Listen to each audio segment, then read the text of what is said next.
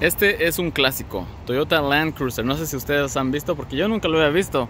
Esta es la primera vez que veo esto porque parece un Jeep como lo ven aquí, pero no tiene plástico como un Jeep. Porque esta es una Land Cruiser clásica, Toyota Land Cruiser.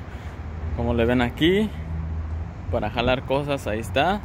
Todo listo para jalar a cualquier persona que se atore en la arena o en la nieve del norte un color verde. Arriba México. Y todos los países que tengan color verde en su bandera. Pero miran aquí las llantotas. Es manual ya saben antes casi todo era manual. El volantote ahí bien grandote como de autobús. No sé si lo alcanzan a ver a ver si que se que se acomode esta cosa. Asientos de piel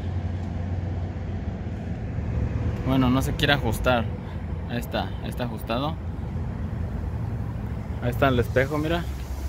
Chiquito, pero para lo que se usa. Aquí está un asiento que se hace así para el lado, otro asiento allá que se hace para el lado. Así que tienes dos pasajeros ahí viéndose la cara y aquí tienes dos pasajeros allá. Doble tono de color, el techo es blanco el carro es verde. Así que ahí tienen Toyota Land Cruiser, algo clásico aquí para que ustedes lo vean y me digan qué piensan sobre esto. ¿Tú comprarías algo así? ¿Sí o no? Yo, claro que sí, porque esto se ve bien machín. Imagínate manejando algo de estos ahí en la calle ahorita. Pues todos te van a voltear a ver. Claro, de seguro la gasolina en estos no son nada buenos, ¿verdad? Aunque esté tan chiquito.